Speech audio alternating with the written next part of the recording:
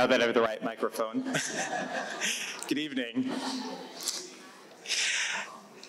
It's my great pleasure to welcome you all to the third annual Elena Diane Curris Lecture on Global Issues. Uh, my name is Richard Marcus, and I'm the director of the Global Studies Institute here at Cal State Long Beach. Uh, you know, we, we live in really interesting times. Uh, how we view global relationships and uh, interchanges is being challenged for economic marginalization. It is created for resurgent nationalism, for rising senses of prejudice inherent therein. Yet at the same time, our globality, our international state of being, our human, economic, and political interconnectedness has never been greater. If the 20th century was about globalization, the 21st century appears to be figuring out what it means to be globalized and how to make the relationships work for us in every corner of the globe. Our modes of communication, the art we create, the technologies we imagine into being, the rights we protect, the education we lead, the communities we build, the bonds we forge in every part of the globe. Such reimagining of our world is at the heart of the talk tonight uh, by Ambassador Munter, uh, and indeed this lecture series itself. So I want to take this opportunity to thank a few people who made this evening possible. Uh, first, let me start by thanking the Curris family, uh, Dino, Joe, Bob, Bobby, uh, Alice. Um, it's been such a joy to get to know you, uh, to get to know you for what you do for this university, uh, for the memory of Elena, uh, but also for who each of you are individually and collectively. Uh, it's really been a joy for me, and you'll hear from Bob in just a few minutes. Uh, I want to thank the Solanki family, uh, Padma here today uh, with us. Uh, Elaine Hageland I saw somewhere uh, wandering around, CSULB's global visionary. Uh, our Global Studies Institute Fellows, uh, Beta Castillo, Noel Chin, and Ave Maria Kim. Uh, uh, two of whom at least are with us tonight. Uh, members of the Global Studies Institute Advisory Board, um, Terry Wright in the Political Science Department, David Schaefer in the History Department, and particularly Tim Kern, uh, Director of the Andalusian Center for Indian Studies, all of whom were pivotal in making tonight possible. I want to make sure to also thank uh, our team in University Development, uh, Becky Zaffarino, Howie uh, Fitzgerald, uh, and others. And mostly, I also want to make sure to thank uh, our university president, uh, Jane Conoley, where would we be without her? Uh, her tireless support of our campus and students is really an example for presidents of universities everywhere. It, this extends in myriad directions, uh, but not the least of which includes support for students who often find themselves at the margins in their daily lives, the persistent focus on who we are as a transformative institution, and to the point of this evening, the placement of CSULB as an institution dedicated to ensuring that our students are prepared for their global futures, regardless of their field of study, and whether it be in global California or anywhere around the world world. So with that, let's please welcome President Jane Conoley.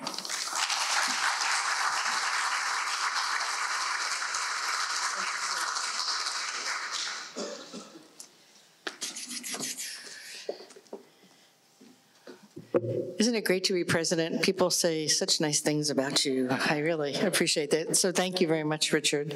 Um, so I am so delighted to be with you all this evening and welcome you to the annual Elena Diane Curris Lecture on Global Issues and to hear from Ambassador Munter, who I had the joy to have uh, lunch with today and have described it as a master class in international relations. Uh, and I'm looking forward to his vision of a new direction for 21st century diplomacy, as I know all of you are.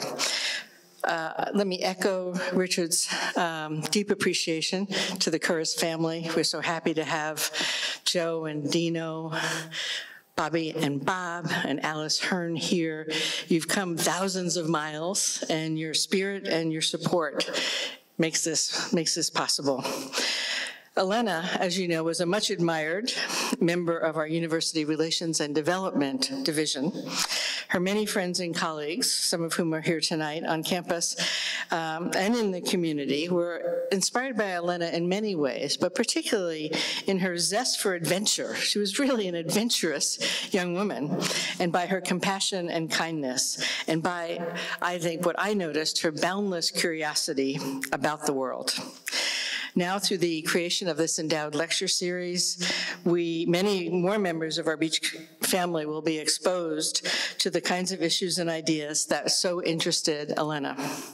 The need for global understanding is perhaps greater now than ever before. Maybe not, the ambassador will tell us. Feels that way. Um, to make sense of issues such as human rights, a subject that I know is of special interest to the Curris family, and the role of non-state actors in diplomacy, and Ambassador Munter's topic for the evening, we need to hear from and engage with leaders across the field. And this uh, lecture series allows us to do that.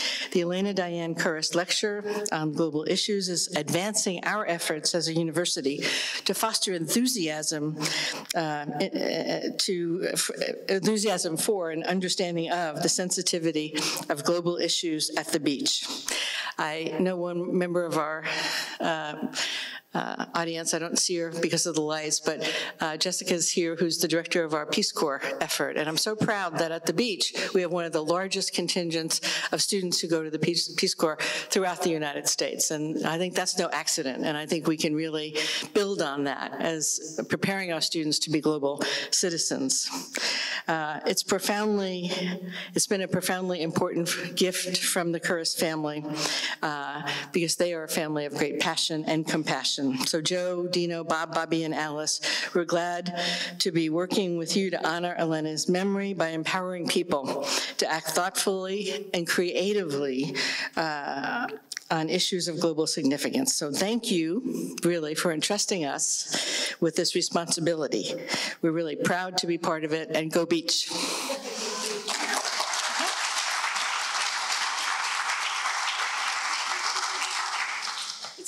There and dark here, so I have to be careful.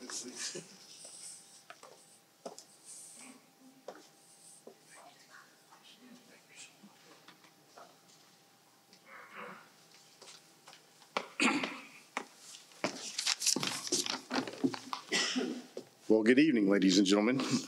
Welcome to the third annual Elena Diane Curris Memorial Lecture. Wow, that got really loud. I am Bob Curris, as previously stated. I'm Elena's brother.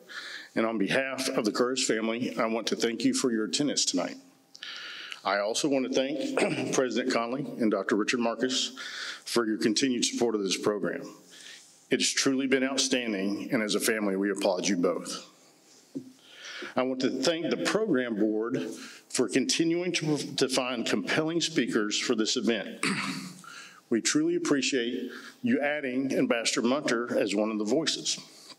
However, before we start, I must, uh, I think it's important to frame why we are here.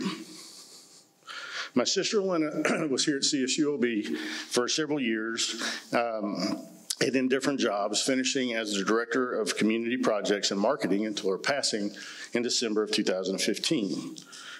After she passed, we looked for ways to honor her memory, and in so doing, we looked at her accomplishments in life.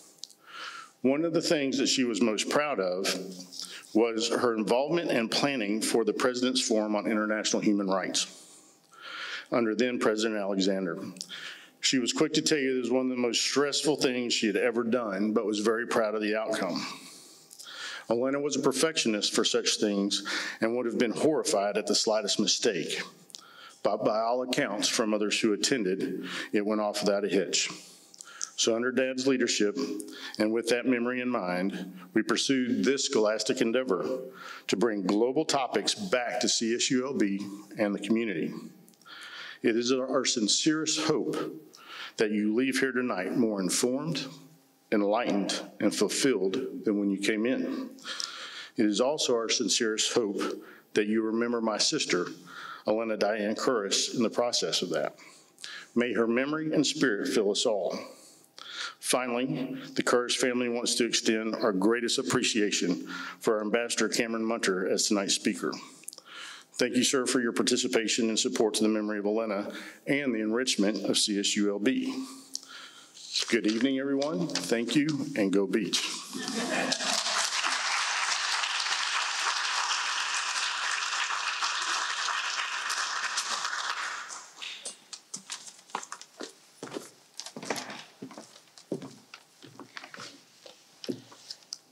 So I now have the honor of uh, introducing Ambassador Munter.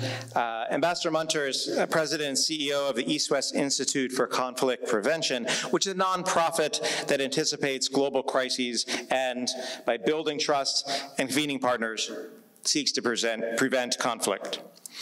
Ambassador Munter served as a U.S. Foreign Service officer for nearly 30 years. He served twice in Iraq, first when he opened the, the, first provincial reconstruction team in Mosul, and later as deputy chief of mission in Baghdad. He was ambassador to Pakistan during a particularly tumultuous time, uh, and uh, ambassador to Serbia at time of Kosovo's independence. Among, among his domestic assignments was director of Central Europe at the National Security Council under Presidents Clinton and Bush. His overseas postings included Warsaw, Prague, and Bonn during the Cold War and directly afterward. He was a Rusk Fellow at the Institute for the Study of Diplomacy at Georgetown University and his numerous other domestic assignments. After his retirement from the diplomatic service, he taught at Columbia Law School and then at Pomona College before taking his current position. Ambassador Munter received his doctorate in modern European history from Johns Hopkins University. He has received honorary doctorates from Pomona College and from Nebraska Wesleyan University. And he's currently a non-resident fellow at the Kennedy School of Government at Harvard University and is member member of the Council on uh, Foreign Relations and the American Academy of Diplomacy. Please join me in welcoming Ambassador Munter.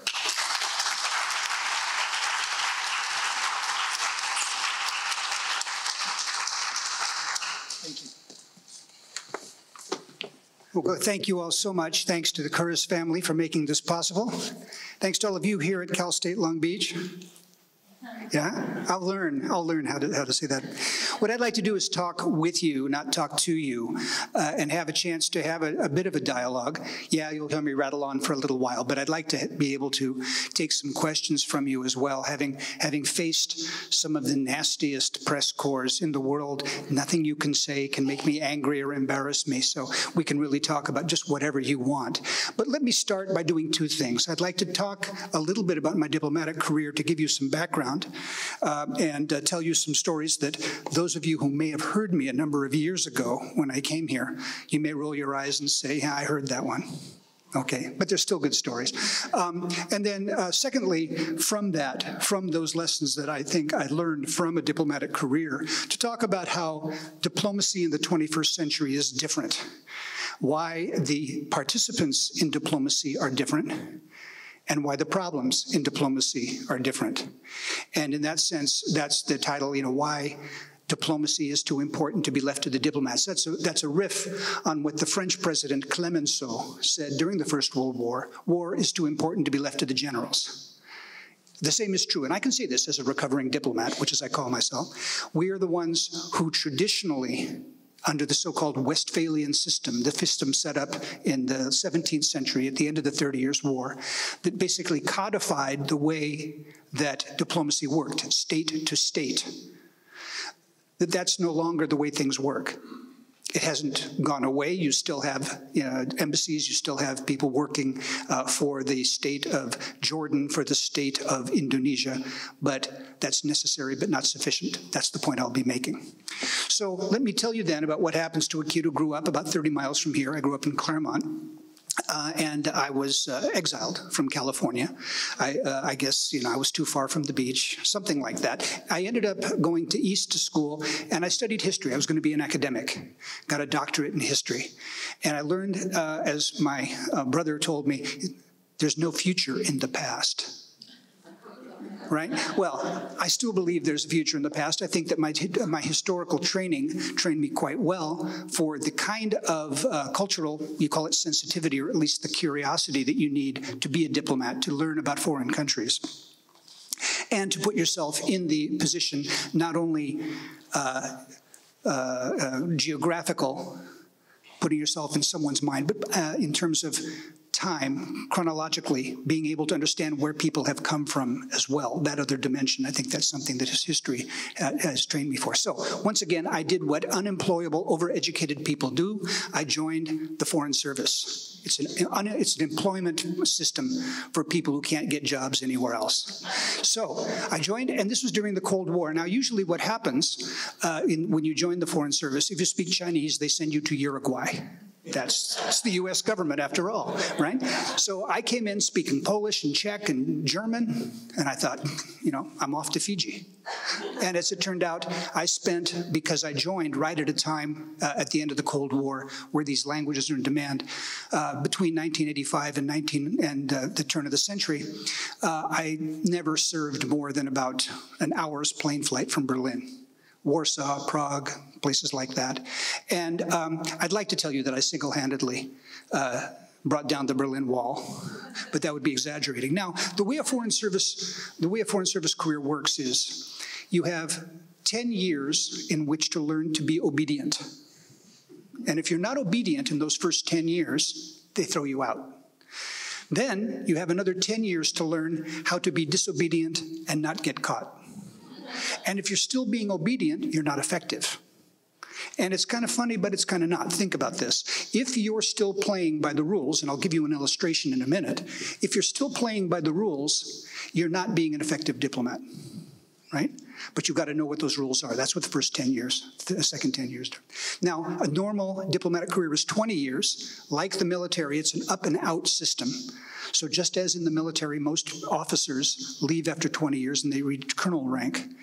And in the, in the diplomatic service, it's very draconian. 80% are thrown out after 20 years. 20% make it over the threshold, as we say, to the senior foreign service, where they're then eligible to be, bachelor, uh, to be bachelors, to be uh, ambassadors. That was also to be a bachelor. Um, um, and uh, what happens in that point is you've learned obedience, you've learned disobedience, then you have to learn leadership. And the way that we learn leadership is very unfair and very unsystematic. You learn it by emulation. You learn it by watching people you admire, people who I knew like Ambassador Tom Pickering or Ambassador Frank Wisner or a man uh, who uh, there's a book coming out about uh, next uh, next week. A man named Richard Holbrooke. Uh, this book, this is I would be remiss as a recovering academic if I didn't give you an assignment. You should read this book. It's called Our Man. Our Man, like Our Man in Havana. Uh, and it's a book that's a biography of Richard Holbrooke and the writer George Packer, a fairly well-known writer for The New Yorker, uh, who has written a book called The Unraveling, which is a very, very good book about American uh, kind of politics describes what he calls the end of the American century. It's a very bleak book. And that's another thing I'll foreshadow. I'm not going to be bleak. I'm not as bleak as George Packer. Um, but you emulate these people, you learn from their example, and that's what I like to think got me into the senior foreign service quota so I could go to such garden spots as Iraq and Serbia and Pakistan. In, that, in any case, so here I am back learning obedience. And the first thing I learned was that we're dealing in Eastern Europe with human rights. I was the desk officer for the country formerly known as Czechoslovakia. Throughout my career, I had a problem. I went to countries and they lost pieces of themselves. I was in Czechoslovakia, we lost Slovakia. I was in Serbia, we lost Kosovo. When I arrived in Baghdad, the president of Iraq asked me if my plan was to make Kurdistan independent. So this is just a pattern. I was just thinking, you know, maybe California can also break it. it. It's always possible. In any case, what happened is, as an example of disobedience, disobedience, in 1989, James Baker was the Secretary of State, and our ambassador to Czechoslovakia was none other than Shirley Temple. Shirley Temple Black. We have an unusual system of choosing ambassadors in the United States, and Shirley Temple Black was our ambassador. And she believed, having arrived in Czechoslovakia in 1989, that she could take the communist government and she could basically knock some sense into them. And a couple of members of the Politburo, who had been in power since 1968. You all recall what happened in Czechoslovakia in 1968. These were pretty, pretty serious Stalinists. She thought, well, if we just, if we just bring them over to the United States, if we just engage with these people, they'll slap themselves in the forehead and say, God, this communism is really stupid. I want to be a capitalist. Uh, I gently tried to tell, with all of my diplomatic charm, I tried to tell Shirley Temple, this is a bad idea. But she was Shirley Temple, and uh, she did what she wanted to do. So she basically talked uh, Jim Baker into having the first meeting of foreign ministers that we had had with the Czechs since 1968 and I was fuming. I think they, I thought they didn't deserve it. Now it turns out that there was a guy in uh, Czechoslovakia named uh, Zdeněk Urbanek who, had translated Shakespeare into Czech and was a signatory of Charter 77, a human rights document. And he had been offered a job teaching for a semester at the University of Chicago, but because he was a dissident and a human, human rights uh, supporter, uh, the Czechoslovak government had not given him an exit visa, not given him permission to go. So as I was driving up in a cab up Connecticut Avenue, those are the days before texts, I was driving up Connecticut Avenue on my way to the Czechoslovak embassy. I hatched a plan, which is that I went to my Czech friends and said, I'll make you a deal. And they said, what's that? They said, I said, if you give Zdeněk Urbanek permission to go to the University of Chicago, I'll get you a meeting between James Baker and your foreign minister. And they said, deal. I did this without authorization. Had I asked for authorization, it most certainly would not have come. But you know what? It's one of the things I'm most proud of. And Zdeněk Urbanek taught at University of Chicago. So those kinds of things, that kind of using that kind of leverage for the right reasons is something that you do as a, as a diplomat. Now, I like to think that's how I got, how I made it to the higher levels, but then I found out what really the secret was, which was in 1993, I was then in Prague as the political officer responsible for the uh, reporting back to Washington about the events there. I had a, an ambassador, Shirley had left.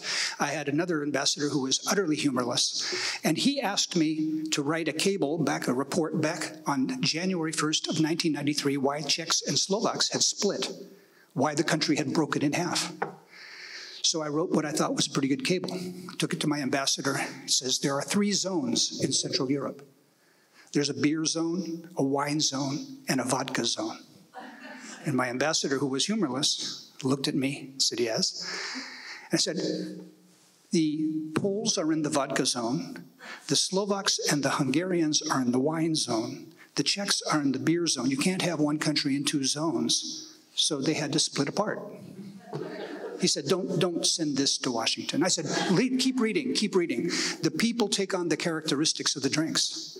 The Poles are fiery and self-destructive like vodka, right? Any Poles here? You know I'm right. Yeah? The Hungarians and the Slovaks are smooth and duplicitous like wine. And the Czechs are boring and filling like beer. Sorry, I, I, had to say that. Anyway, so he, he said, really, don't, don't send this in. I said, look, it's the key to their foreign policy. You hate the country who drinks what you drink. Who do the Poles hate? The Russians, they drink vodka. Who do the Slovaks hate? The Hungarians, they both drink wine. Czechs, Germans, both drink beer. This is it, the key. I figured it out. He threw me out of his office. So I did what you do in the second 10 years of your career. I thought of a pen name, Ignatius Gripweed. And Ignatius Gripweed went to an underground newspaper in Prague called Prognosis. and somehow there was an article on the three zones of Central Europe that appeared in Prognosis the next week. My ambassador called me in that next week, showed me a copy of Prognosis. He said, You know this Ignatius Gripweed? And I said, Yeah. And he said, He stole your idea. so You see? And I lived to tell the tale. Now, fast forward, these were the days, the heady days when we were erasing the scars that were across Europe. I worked on NATO enlargement. I worked with uh, Madeleine Albright uh, and uh, the, there was a kind of a Czech cabal at the State Department. Madeleine Albright and me, we were the two Czech speakers. It was one of those ways your career moves ahead. Anyway, and then I ended up in the White House on 9 11. And what happened to American diplomacy on 9 11 is we went from, or at least my work in diplomacy, went from doing nation building, doing human rights, doing these kinds of issues, to doing counterterrorism. And it's not what I'd signed up for. But when you decide to work for the US government and you're in an organization like the State Department, you salute. And that's, and, and that's what you do. Uh, I was unhappy with that because I felt, and I will try to demonstrate through a couple of things I tell you now, how the policy of the United States got a little bit unbalanced. It became more heavily weighted towards counterterrorism. And because it was that, some of the things that we needed to do didn't work out. I was sent uh, in, uh, well, in, in 2006, I was uh, back in Prague as the deputy chief of mission, and I was counseling young uh, foreign service officers that they needed to go to Iraq because they were looking for volunteers. And then I realized nobody in the senior foreign service like myself was volunteering, so I volunteered um, in 2006 to open the first provincial reconstruction team in Iraq. Now, a provincial reconstruction team means that you go to a province and you become essentially the governor. You have a lot of money and you have a team. I had a team of about 50 people, about 25 military and about 25 contractors. And we were basically doing what one of them called implementing the Marshall Plan in 1943. That is to say, you're building a country in the middle of a war. And so we would go out and we would build a bridge, and the would, bridge would get blown up. Uh, we would go and talk about microfinance with the village leader, and the village leader would disappear. So it was pretty, pretty difficult. The province I got was the province of Nineveh. That's where the town of Mosul is. So I lived in Mosul, uh, which is a tough neighborhood. Um, and what I learned there, which was interesting, was a little bit about the United States. I used the joke, forgive me, whoever I told the joke outside to, but the definition of a diplomat, as you know, is uh, someone who will do anything for his country except live there, right? Uh, and of course, I had been out of the country for a long time. I had missed what was going on and the polarization that was taking place in the United States. So here I was on a base outside of Mosul, a lot of barbed wire around, and a couple of people crawled over the wall and killed two members of my team. So I pulled the team together and I said, you guys have to show uh, better security. You have to work better on your safety. And they said, it's okay, boss. We got our weapons in our hooch. Hooch is Army speak for the trailers they lived in. We have our weapons in our hooch. What weapon do you have in your hooch? I said, I don't have a weapon in my hooch. Uh, they said, no, no, we know they didn't issue you a weapon, but you, you brought your weapon from home, right? I said, I don't have a weapon at home. And 50 people stared at me. And one voice came out from the back and said, Are you a Democrat? Dead silence. I said, I have two things I want to tell you. I'm a Democrat and I'm your commanding officer, right? But one fellow came up to me afterwards and it was actually quite touching. He was a guy from Tennessee. Uh, and he said, What are you doing here? What are you doing here? Guys like you don't go to war, right? And it dawned on me that we have a real problem which is there are people who fight America's wars, and there are people who don't, and there's a gulf between them. And that sadly, it becomes interpreted as, in this particular case, kind of a red blue kind of issue. That woke me up a little bit. Well, I worked there, and my uh, reward for working there was to come back and be assigned to be ambassador to Serbia. Now, Serbia was having difficulties with the province of Kosovo, and the province of Kosovo decided in 2008 to declare independence. And when the province of Kosovo declared independence, a number of people got together on the street. I don't know if those of you who watch CNN remember this, but they came and they lit my embassy on fire okay? So I was there, and CNN is watching the flames come up in my embassy. And what happens is, for those of you who've seen the movie Argo, you know, you're in the embassy and your embassy is burning down. The difference between us and the people in Argo is we could watch CNN and watch from the outside what was actually happening to us. We evacuated the embassy, and instead of shredding the paper the way they do in the movie, we used a very high-tech way of dealing with our stuff. We literally had sledgehammers, and I went through with a couple of the intelligence officers and we smashed millions of dollars worth of equipment, communications equipment. Those Marines that they have in embassies overseas are not there to protect you or me. They're there to protect the machines that have this, the, all the ciphers and the, the secret information.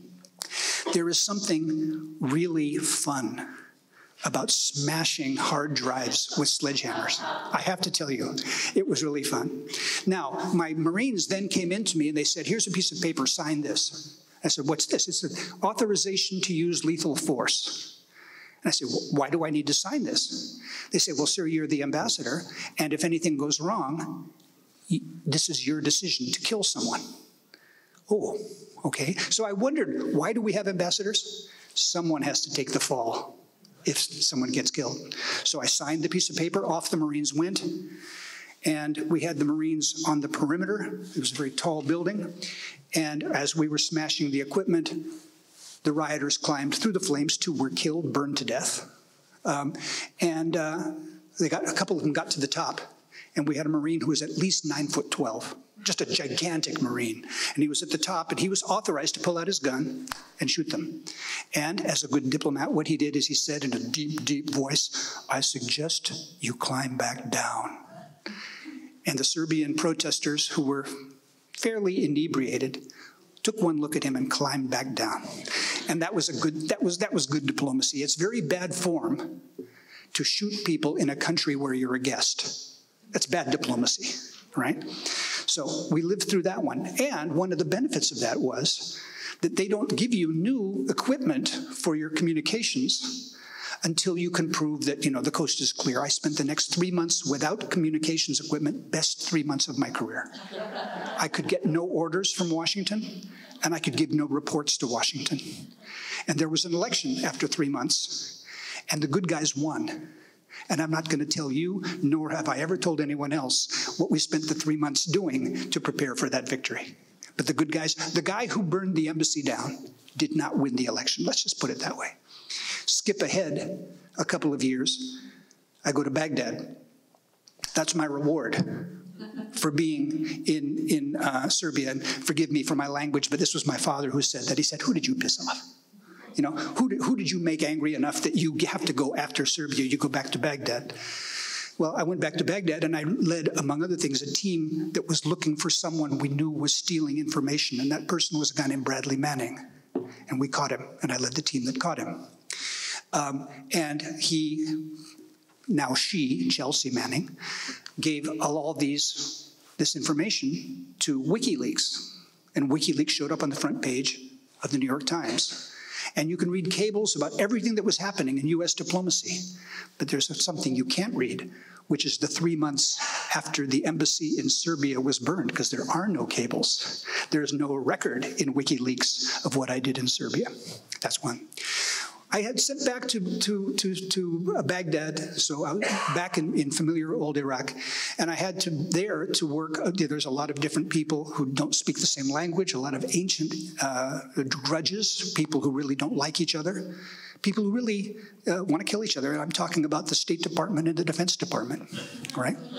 And my job was to be the liaison between the military and the civilians. During my time there, we did the first civilian military joint plan. We had all that time since 2003 done separate plans. We did a joint plan.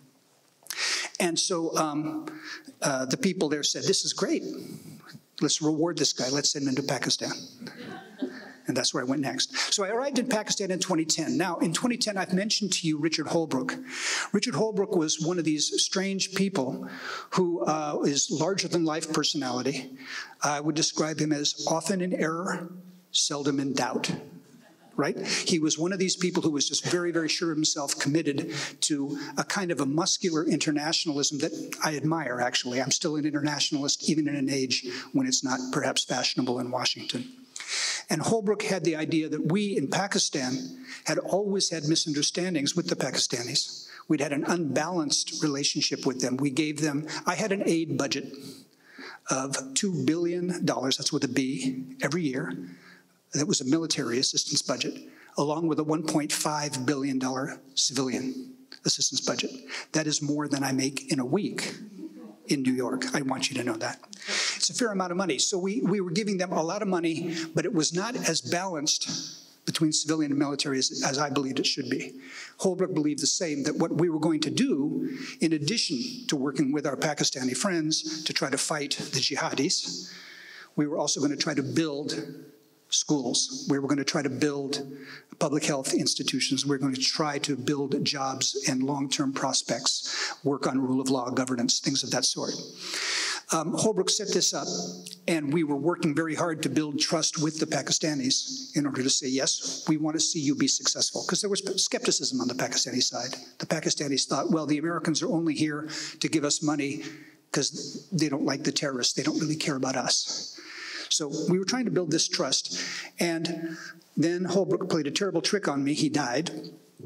And uh, the, he was kind of like the sun, and we were all the planets. And then all of a sudden, the sun goes out, and we're a bunch of rocks spinning around in space. And uh, then the year 2011 came, and we had a series of calamities that took place. And they're interesting calamities. I'll, I'll mention them to you. The first was that there was a CIA agent named uh, uh, what was that guy's name? Raymond Davis, I guess was his name, uh, who shot two uh, Pakistani thugs on the street of Lahore. He had been looking for um, members of uh, a terrorist group that is thought to be uh, responsible for the 2008 Mumbai attacks uh, called Lashkar-e-Taiba, L-E-T. And we, the Americans, believed that the Pakistani government um, was somewhat in bed with LET that is not necessarily sponsoring them, but certainly not cracking down on them. So we didn't tell the Pakistanis what Raymond Davis was doing, that he was looking for these people. After Raymond Davis shot these people on the street, he went into jail and we had to get him out. Now, Pakistan is a very barbarous, barbarous country. There's countries that still have the death penalty. You know that?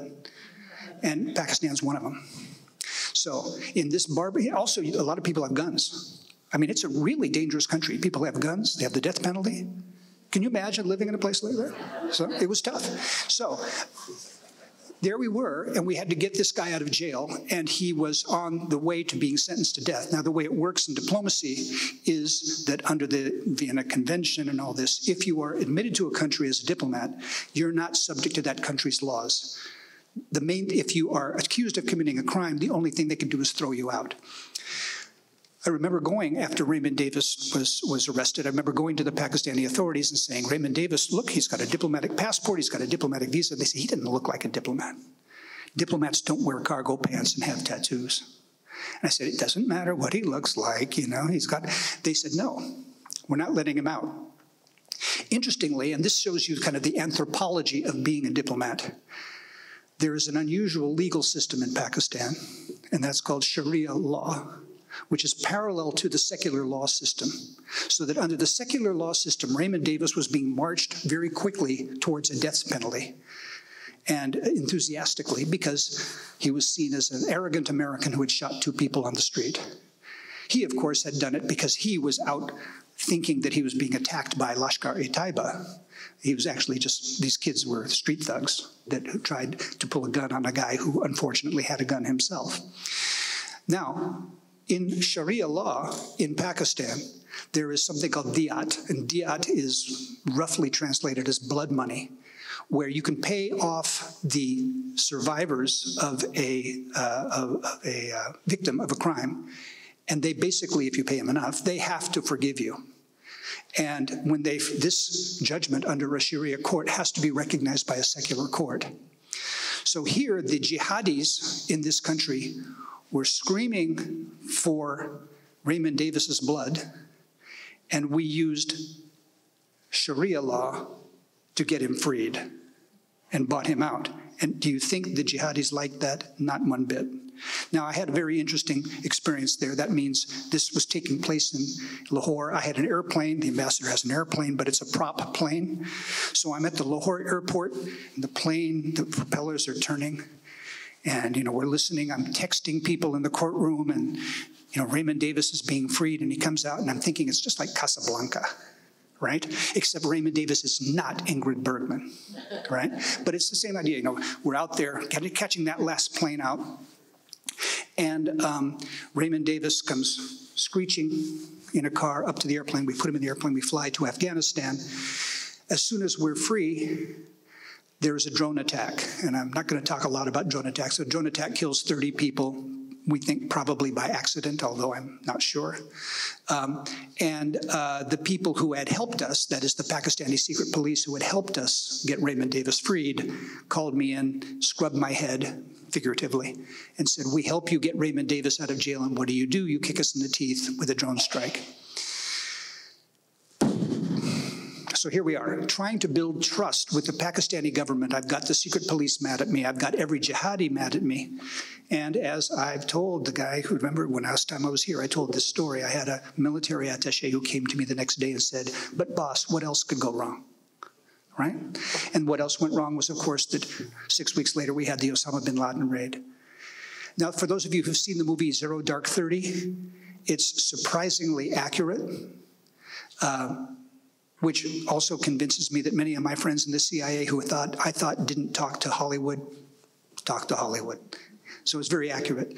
And what my job was was to make sure that Americans would be safe in the event of this for the Americans who were in Pakistan. I was aware from 2010 when I went out to Pakistan that we were watching that house. But the accounts you've read that the president didn't know for sure that that was Osama bin Laden, those are true. He didn't know, even to the time of the raid and all those debates that they had is, is he there? Should they go? What's you know 100% 50% those are all true. Those accounts are true. So i basically uh, was hosting a dinner that night. We all had to act as if everything was normal. I had 12 rectors of islamic universities around my table. So 12 guys with beards and me. And i did what you don't do is excuse me please. I left my my, my dinner party, I went into the embassy and I just didn't go back. So I'm not sure that I did a whole lot for um, you know, exchanges. I'm not sure that they really appreciated that. I went into the embassy, and basically what I got to do was watch the Osama bin Laden raid on the screen. Now, in our embassy, and I'm telling you things you know, although technically you shouldn't know, is that there is a thing called a station, and a station is where the intelligence officers, where the CIA people are. In the station, there are four screens. The top screen was a drone from 5,000 feet taking the picture of what was happening in Abbottabad. And that is very faithfully shown in the movie. Um, just from you're looking up and you see the compound. One picture next to it is a picture of Obama, Hillary, Joe Biden, famous. You know, Hillary's chewing on her finger. You've seen this picture. They're all watching the raid. That's the next screen. The third screen is Admiral McRaven in Afghanistan. He was the head of the Navy SEALs who were doing the operation. And the fourth screen is myself and my intelligence and my military advisors. So there's four screens. And we're watching the screen. We've been briefed. There's going to be two helicopters coming swooping in. One is going to land and secure the perimeter, just like in the movie. And one is going to drop people down ropes on top of the house and get bin Laden. First helicopter comes in, lands, secures the perimeter just the way it was supposed to be, with the dog, just as you have you heard. Second helicopter crashes. And so all of us who remembered 1980, that is to say the famous Desert One uh, crash when they tried to free the hostages in Iran, we all getting sweat under our armpits and saying, oh God, you know, are we going to do this again? What's wrong with um, and uh, Admiral McRaven, who's this incredible specimen of a human, his pulse is like 40, right? His pulse spikes to something like 41. You know, you know, we're all going, oh my God, oh my God. And he goes, Plan B, or you know, or he spoke some militaries for Plan B. Instead of going down ropes into the house, they blast their way through a wall, go up the stairs, and they get Bin Laden. One thing they did at that time in addition to killing bin Laden, was that they took all of the intelligence, they took all of the um, uh, computers and thumb drives and everything else out of the out of the Abbottabad um, uh, house. That I'll get back to that in a minute. They take that, they take the body, they put it in the in the helicopter, and then they have to blow up the other helicopter because it had been damaged. They had to destroy it because it was very high tech kind of helicopter. Otherwise, they might have slipped in and slipped out without anyone knowing. But they do blow the helicopter. And uh, so I say then to my boss, Hillary Clinton, on the screen, you know who's going to get the first phone call? It's my job. She I said, What should I tell the Pakistanis? She says, Don't tell them anything. And that was helpful, right? So I thought about that. A couple hours later, I get a call from the foreign secretary. He's the very professional diplomat who, number two in their system. He says, Cameron, three o'clock in the morning. I'm sorry to call you, but there was a helicopter crash up in Abbottabad. Do you know anything about that? And I was ready for him. I said, I'll get back to you, Salman. Thought I'd outwitted him here. And he thought about it for a minute and he says, Cameron, you don't sound like you were asleep. No, no, I wasn't. So, once the, once the helicopters got back into Afghan airspace with Osama bin Laden's body, um, our chairman of our Joint Chiefs called the general who basically runs Pakistan and briefed him on all of this. But we weren't sure what would happen at that point because in 1979, there had been an attack on the Great Mosque in Mecca by some radicals. And true to conspiracy theories in that part of the world, it was blamed on who? The Americans. And in 1979, this was not many people know this because we were focused on the hostage crisis in Iran, but our embassy in Islamabad, the capital of Pakistan, was burned to the ground, and three people were killed. So we expected that to happen again after the bin Laden raid. When you're assigned to a country like Pakistan, you have a, a bag by the door all the time. You're ready for that phone call. You have a phone tree. So I had to call everyone in. I was not allowed to talk to anybody about the raid. I was the only non intelligence officer who knew about it. So I had to wake up a bunch of people at three in the morning, call them in, and then get everyone else in so they'd be protected in case we were uh, attacked. We had four installations in Pakistan. In Karachi, we were by the water, and as you may know, they took the body of Osama bin Laden to a ship called the Carl Vinson, and that ship is where they basically prepared the body and then buried it at sea. That Carl Vinson was also going to send helicopters to evacuate our people in Karachi at our consulate. Our, Karachi, our consulate in Lahore, 40 miles from India, they could make a convoy and make a run for it. But in Peshawar, and especially in the embassy in Islamabad, there was nowhere to go. So we decided we would hunker down. We got everyone in from outside, and the Marines came to me, and they brought me a piece of paper. I said, What's that? They said, This is a piece of paper called Authorization to Use Lethal Force. I said, Oh, we'd like you to sign this. So I signed it. And you see standing in front of you the only ambassador who has ever signed that piece of paper twice. Fortunately, in both cases, they never had to use lethal force. This is part of what convinces me that the Pakistanis did not, one of the reasons I'm convinced the Pakistani government did not know that Osama bin Laden was there. Most people believe, of course, they knew. Here's this guy living in a house a mile from their equivalent of West Point. How could they not know?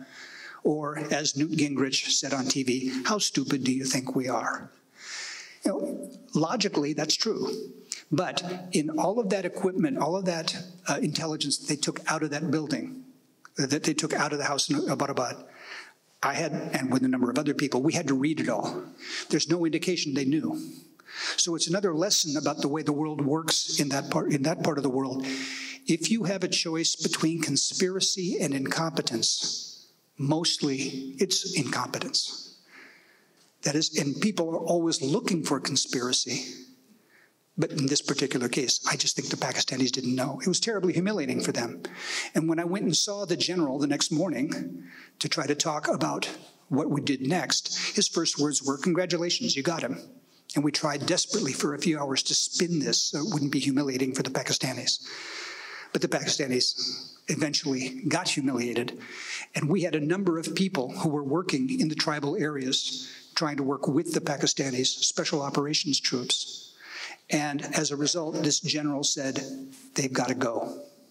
They've got to leave. And I said, you know, the way it works with us, uh, our Congress has a rule that the Congress calls no boys, no toys. If, the, if you send these people away, we have to take all the equipment, all the night vision goggles, all the sniper rifles, all the computers, we have to take it all away. And he said, I don't care, get them out of here. So I went back to Peshawar, where I watched C 17s, big cargo planes, taking all this equipment that we had given to the Pakistanis that we were going to use together to try to fight the radicals. So you can see this plan. Remember the plan I was talking about with Richard Holbrooke? We were going to kind of make friends with these guys. We're going to build trust. We're going to nosedive. Next day, had a meeting. Mike Nagata, my military attache, comes in and says, What else could possibly go wrong? Well, what else could possibly go wrong? A couple months later, a group of about a dozen American and Afghan special forces came accidentally across the border into Pakistan, and they were fired upon by Pakistani border guards. And when that happened, um, they fired back. And America is famous for kind of uh, anything worth doing is worth overdoing.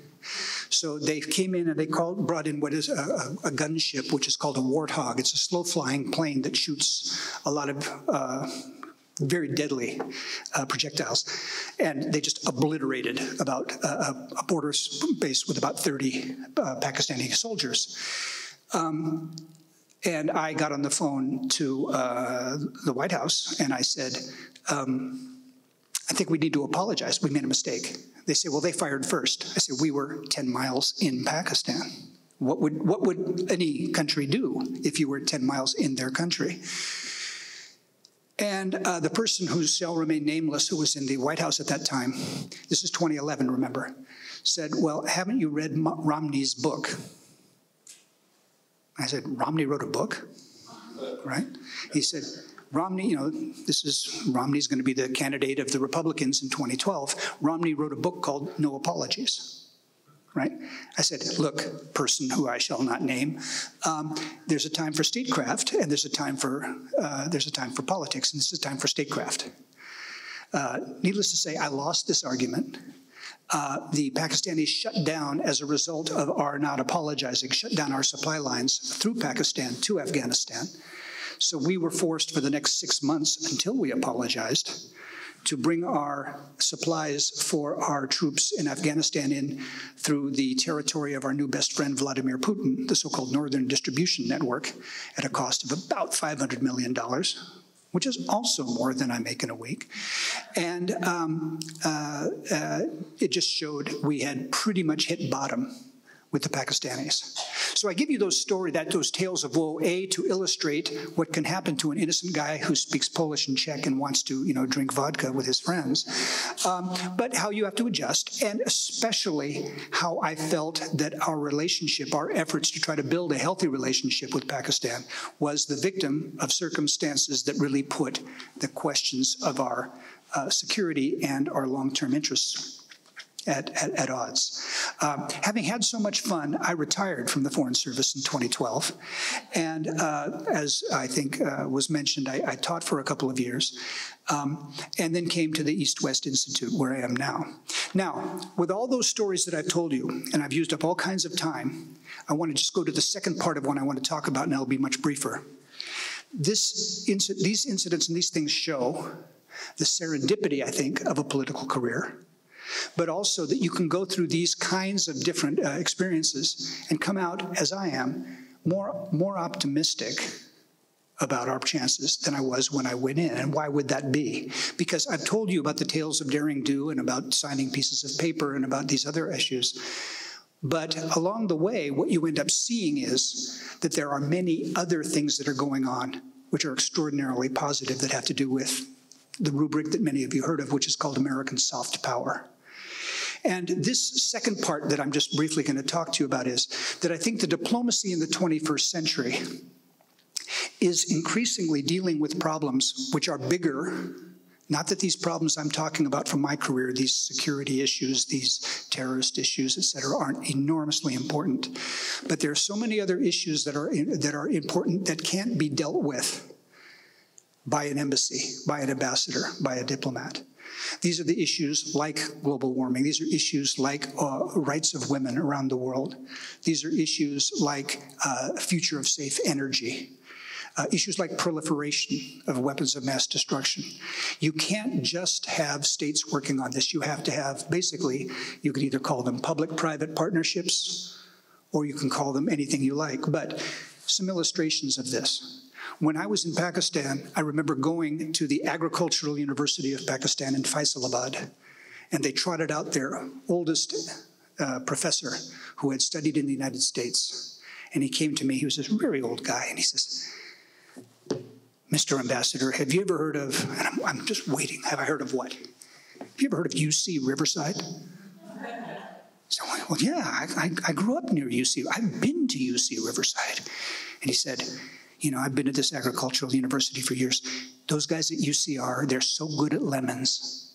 They're so good at lemons, right?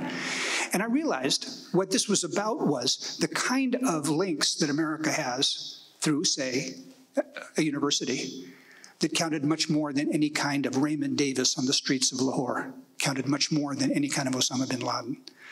Those kinds of soft power ties we have. Another example, I had this enormous budget I told you about, and one of the things we worked on was to try to eliminate polio from Pakistan. Polio exists in three countries in the world Pakistan, Afghanistan, and uh, Nigeria.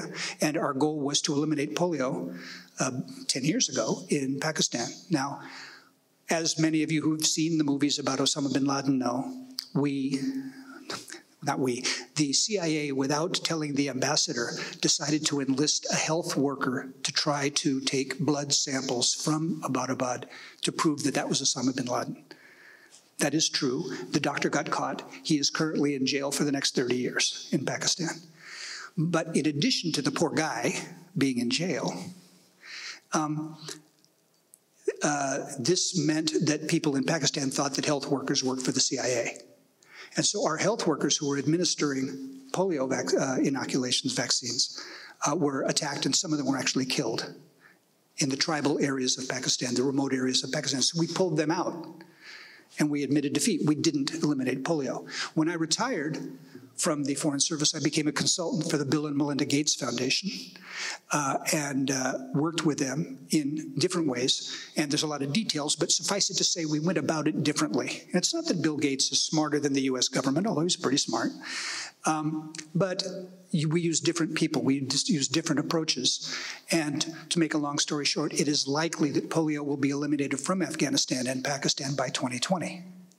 The moral of the story there is it's the wise ambassador who doesn't say, What are you doing on my turf, Bill Gates? But it's the wise ambassador who says, We couldn't do it. Thank God they could. There are the people who are doing what we all want to get done. This partnership is the partnership of an NGO, or I mentioned earlier, the partnership of a university, or you could say the partnership of business in different areas. Those are the areas where not only we, the Americans, have an enormous advantage. We're a very well developed philanthropic sector, very well developed NGO sector. But also, the problem, it's not only the participants in these problems, but it's the problems themselves. Again, they cross borders. You cannot deal with climate change as one country, and you can't deal with climate change with government even with civic government, even different levels of government, you've got to have business involved. You've got to have civic action. You've got to have all kinds of uh, participants.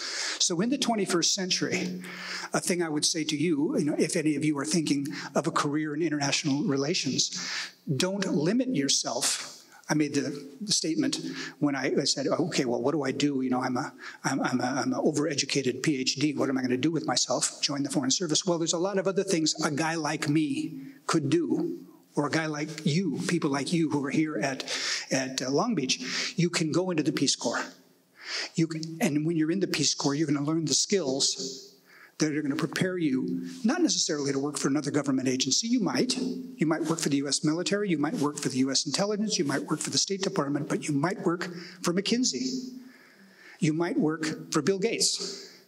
You might work for a bank. In other words, it may seem counterintuitive that these people are involved in, in diplomacy, but increasingly that's what's happened. And because that's what's happening, we're getting away, I think, over time, and this is something that's going to show uh, only manifest itself in the years to come. We're getting away from the preponderance of what's happening uh, that, where we depend only on diplomats to take care of international problems. Some people have commented to me, even this evening, that the current administration is not a big friend of the Foreign Service. And it, you have to really it's obvious that this is true. Uh, the budget for the State Department that was put forward by the president this year is a cut of 25%. It's a pretty big cut. Most of the people who I worked with uh, in, uh, have left the Foreign Service. thrown out or, um, or have, have decided to leave. We have a problem that the Foreign Service is weakened.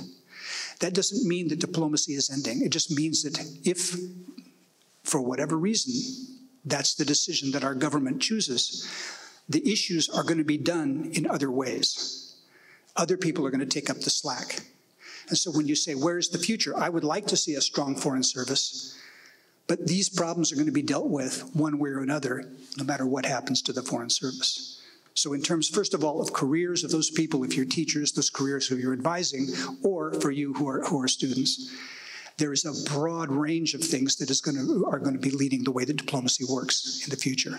That makes me optimistic because I think the partners in other countries, as other countries develop, as you see the boom in Southeast Asia, for example, the change in Indonesia, Malaysia, uh, uh, Vietnam, the, the incredible progress these countries have made, as these countries change, they're also developing different sectors of people who I, at the East West Institute, doing the conflict mediation, these are our partners. And these are people who didn't have the money and the time to do projects with us on uh, wildlife trafficking or on other ec ecological issues that we now do with people in the Philippines. So that the developments that are taking place that seem to be in many ways so scary, that is the unevenness of globalization, Yes, there's populism. Yes, there's the challenges to the rules-based order and all these kinds of things you read about. But there's also a new class or new classes of persons who are now much more aware of the transnational issues that I've talked about, who are our partners. So it's not just Americans. We have better partners, especially I would point to Southeast Asia, Central Asia, you don't read a lot about Kazakhstan, but there's a very significant middle class in Kazakhstan, as an example, that's working on desertification because they have mismanaged their water resources. Those are the people we're going to work with in the future. So that's the message I hope you take away, which is in addition to the good stories about beer, wine, and vodka and the other kinds of things, that I do come away optimistic that this period that we're going into is the period of bigger problems, but a lot more people taking part. So with that, I've gone a little longer than I wanted to, but I would like to see if I could take at least a question or two. If I haven't totally knocked you dead. Okay, thanks.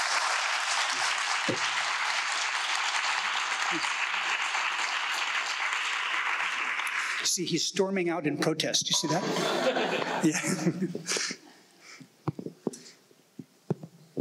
yeah. Um, thank you for a lovely talk. Um, the question I had was that, you know, you arrive at this logic of soft power, um, and you began with your stories about the 1990s in Eastern Europe and Iraq.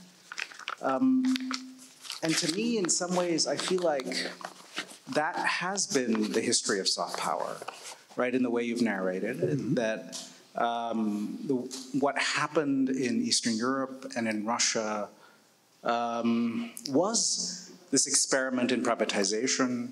Um, in the Middle East, it was Halliburton and the experimentation and privatization of military power.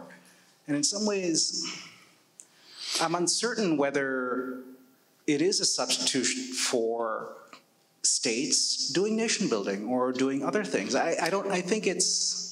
Two, two very important points you make. A, I, I don't mean to say that soft power uh, always works. So very good point. I mean, you correct me on that. Soft power doesn't always work. The kinds of things that we were doing in, say, Czech Republic or Poland or Hungary or the Baltic states many things failed. There, the rule of law is a good example because in almost all of our programs there was a rule of law um, component. And whenever you try to come into a country and say, you know, hey, Latvia, you need not only uh, new standards of evidence for detectives and police, but new judges who will look at those standards of evidence and then new correctional facilities for the people you put in jail, bada bing, bada bing, bada bing. Yes, that's ideal, but those things, that, that, that doesn't always work in a linear fashion. So don't let me, you, you properly corrected me that the impulse to do that is not a guarantee of the success of those programs. But with participation, you don't get the work that I've done in Ukraine, for example, the work in rule of law in Ukraine. You don't get there by just having a government like the Americans or the Germans build a courthouse. But you have NGOs you work with, you have exchanges of uh, judges, you, you, and over time, you know, for all of the things that you read, the scathing things, everything you read about uh, justice, say in Ukraine, it's a lot less corrupt than it was 20 years ago. It's just not all the way uncorrupt, right? So I, I, I, I take your point. It's not all of a sudden we can do things uh, with soft power and therefore they work. It's, it's a hard road, but it's uh, the right direction. Secondly, you are right that it, it doesn't replace the need for governmental work. Government, uh, say the Foreign Service, the diplomats, the military, the intelligence, they have to be partners in this. And so part of the prog program is learning on both sides to work with one another. One of the things we do as basically the East West Institute, we're marriage counselors for countries right? We get the husband, we get the wife, we sit them down, we you know make them talk. We we try to get people at the table, for example, to talk about counter uh, about cyber security, encryption issues. We bring the FBI to sit down with Apple. And we bring Huawei to the same table, and we bring Chinese intelligence to the same table, and Israeli intelligence to the same table. And we say, there's lots of things you guys disagree about. So why don't we lock you in a room and give you lots of food to eat and tell you, come up with the things you can agree about. Does that mean we solve all the problems? Of course not. So I take from your comment, it is wise to be humble about what you can achieve, but I am confident that the way we're doing it is the right way to do it. Another question?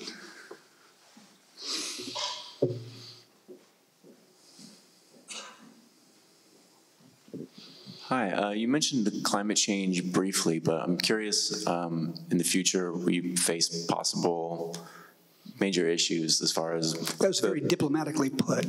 potential for global unrest, lots of um, lots of lots of risk. What role can diplomacy play in that future? Yeah, um, it, it's interesting because part of the role that diplomacy plays when you think of uh, uh, when you're taking a course I, I, think when I was teaching courses in IR, it's, it's very important to draw a distinction between foreign policy and diplomacy.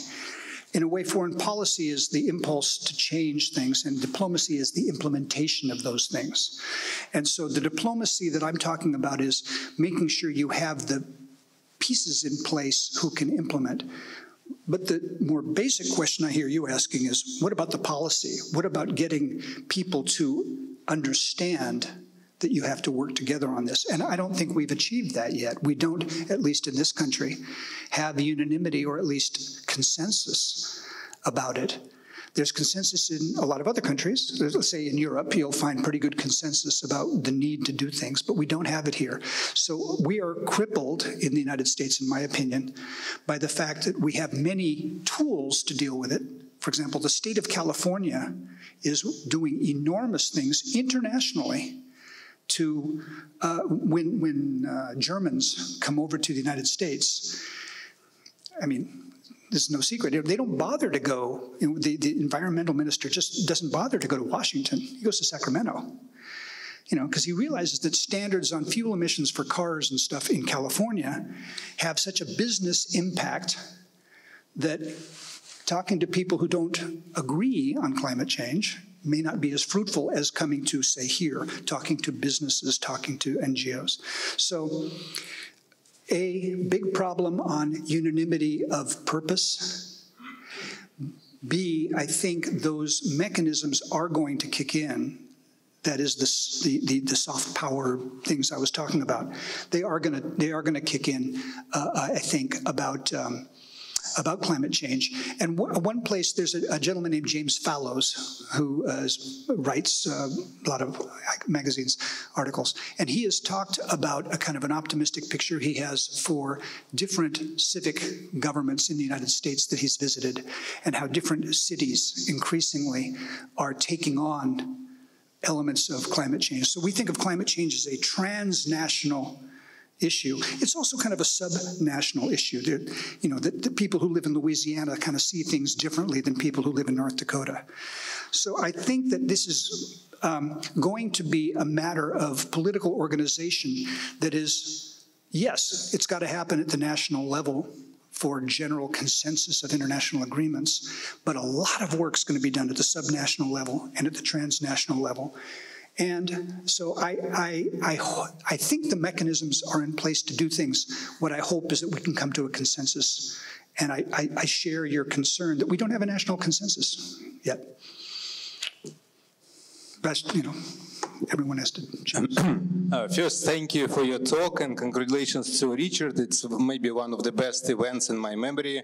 No, anyway, uh, if you don't mind, my question will be less diplomatic than it should be. I am from the land of vodka, after all. Which, which, So, which land of vodka? uh, no, Russia. Okay, well, come So, uh, two questions uh, He says from. it's self-evident that, of course, Russia is the land of vodka. So from a land of vodka perspective, I have two questions, maybe less diplomatic than it should be, but I truly interested in your opinion on two arguments. One is uh, when Democrats are in power, international politics becomes less predictable, driven by uh, universalist claims like global change, climate change, and so forth. Uh, they allow things like Islamic State to happen. When Republicans come to power, it's immediately almost over.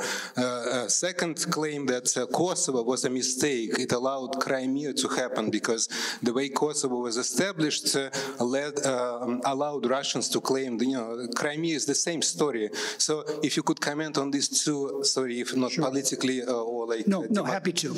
Happy to. On that second claim, I think you have a point. I spent a lot of my life arguing that there are legal reasons why Kosovo is different because of the role of the UN, because of Russian uh, efforts, the, the Russian agreement to the way that Kosovo was set up, that it was, that all, all of the Security Council agreed to 1244 and to the arrangements that set up the legal status of Kosovo and the prospect that Kosovo would become independent. And no one did that for Crimea. That said, these legalisms don't always convince people. And I think the Russian public, or many people who are, uh, uh, you know, uh, say in the Russian government, are saying, look, uh, it's okay for you to let a country break off when you want it to break off, but we can't break another country off when we want to break it off. That logic is definitely something that makes these it makes it it's difficult so it makes the west less pure in its argumentation i happen to believe that the legal differences are significant enough that russia annexing crimea a country taking another country when the country uh, you know uh, taking a piece of the country away is different than an independence movement that has been sanctioned as a possibility by the UN. That that there's a difference there. But you are right that this is gray. This is gray politics, and a lot of people don't, don't agree. Uh, the first question was, I thought, a kind of an odd one. I'm not sure I understood it, which is when the, when the Democrats come in, things fall apart, and when the Republicans come in, everything makes sense? Not fall apart, but like uh, Islamic State happened when uh, Democrats were in power. As soon as Republicans came to power, it's over immediately. Yeah. I, I- okay, on the Islamic State, I, I, tend not to see that as a, maybe because I worked for Democrats and Republicans, I don't tend to see it as a partisan issue. It's much more the question of George Bush signed the papers pulling out American troops. So when you say, if one were to say, the reason that the, uh, the Islamic State came in is because the Democrats pulled, pulled out and then the Islamic State came. George Bush made that decision. Now, whether it's right or wrong, I don't blame him as a Republican or as a Democrat. You know, he was the president and he thought that was the right thing to do or he needed to do that. So maybe we who used to work in the government as civil servants, maybe we're blind, but it was never seen inside the government as a partisan issue. It was never seen as a Democratic or a Republican decision. It was seen that the president decided to pull out troops because most Americans were sick of the war. It turned out to be a, a gamble, and that ISIS came, and then America decided after ISIS came to fight ISIS and then won.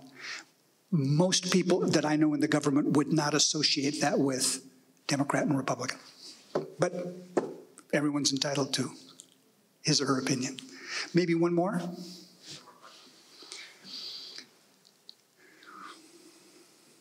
Thank you. Ambassador, welcome to Long Beach, and thank you for your great talk. Um, You want to wanna- tell them where you were on May 2nd of uh, 2011? I think, yeah, it was my last visit to Islamabad, and we raised a toast to the, to the- getting- that successful raid in the, in the embassy, and uh, I still remember thinking to my time, to myself at the time, I was like, it's gonna, it's downhill from here. And, it- Um, and you were, and you were right. Yeah, yeah, well, beyond beyond my imagination. Um, to to come back to what you were saying though about about that the lack of consensus, not just on climate change, but on so many other issues. Do you see a role for organizations like East West Institute and others in bringing together, uh, in helping restore some consensus in America, right? Um, I think it was Richard Haass who said, you know, foreign policy begins at home. Yeah. And it seems to me like American foreign policy has lost so much effectiveness and credibility because of the breakdown of our domestic politics. So how can we how can we restore that? It's a huge issue, and I was just at an, event with uh, David Petraeus in New York a few days ago, and someone asked him, what's the biggest threat to the United States? And he said, basically what you said, is our own inability to, to come, you know, it's not cyber warfare, it's not China, it's our own inability to come together.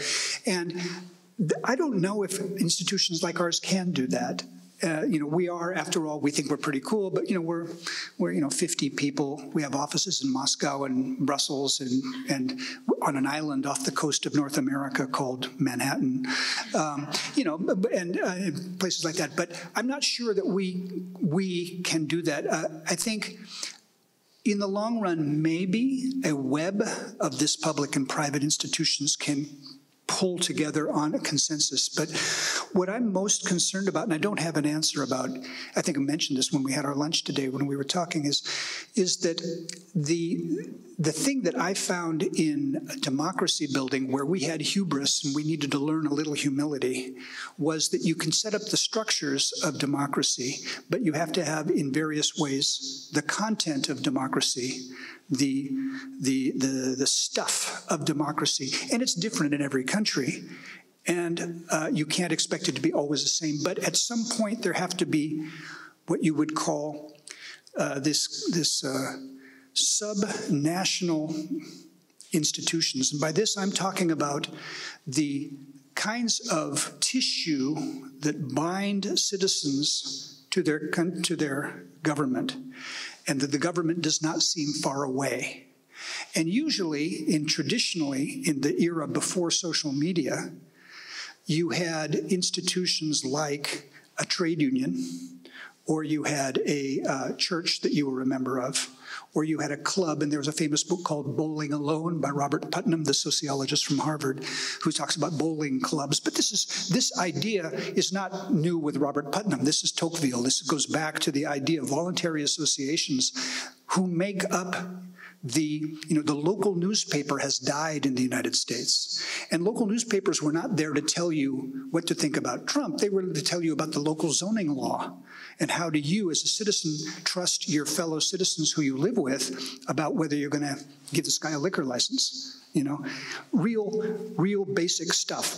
So my concern is that we can talk about the broader big questions in institutions like mine or universities can talk about the foreign policy questions that you know again we've talked about global warming we could talk about energy issues. Um, but i don't know how one builds the kind of trust that you need to have other than having those kinds of institutions and I'm not trying to say, you know, what are we going to do? Force people to meet their wife at a church social instead of going online? You know, are we going to put that genie back in the bottle? You know, how, how do you how do you change How do you uh, change the, uh, the impact of social media, as an example? And I guess the first step would only be to be aware of it and to think about the debate that doesn't have to do so much with um, institutional power or ideology, but has to deal with the kind of things that you know, like uh, if you read David Brooks in the New York Times, you talk about, you know, what about talking about decency? What about talking about the concept of, you know, when I was in Poland in the 1980s, there was this phrase, which for those of you Polish speakers, nie ma wolności bez solidarności. You cannot have freedom without solidarity. That is, freedom without the responsibility and the feeling for others is license, right? You only get that from a kind of morality that comes from some sort of sense that, you know, there are things bigger than you. And I don't know, I don't know how you get that back. So that's the most troubling question that I can imagine. Because A, I agree with you, you can't have a strong foreign policy without some domestic consensus.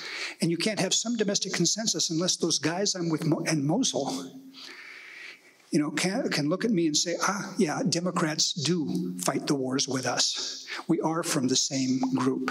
You know, we are on the same side. And, you know, I hear from my Manhattan Democrat friends some pretty awful things about the people who I then go talk to in Washington uh, who are working in the Trump administration. You know, this demonization really does go both ways. And I hope that what we can figure out is uh, how those institutions, maybe we won't create the old institutions, but maybe we'll make new ones in some way. Great. Thank you so much. Thank you.